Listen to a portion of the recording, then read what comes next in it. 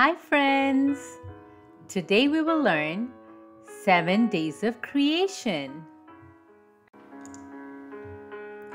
Day 1 God created light.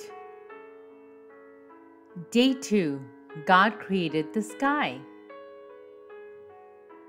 Day 3 God created the land, seasons, plants, and trees. Day 4 God created the sun, moon, and stars in the sky.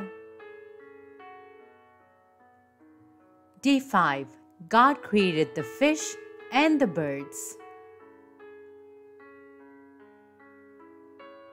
Day 6 God created animals and man.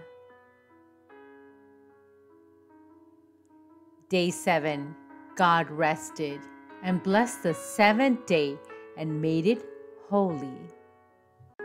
Could you repeat it with me?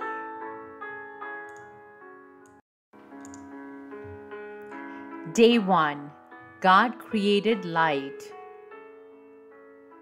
Day 2 God created the sky.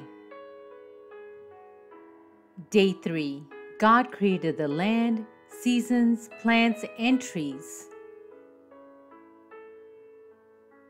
Day 4 God created the sun, moon, and stars in the sky. Day 5 God created the fish and the birds.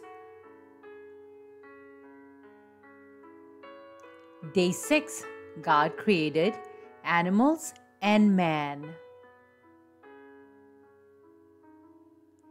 Day 7 God rested and blessed the seventh day and made it holy.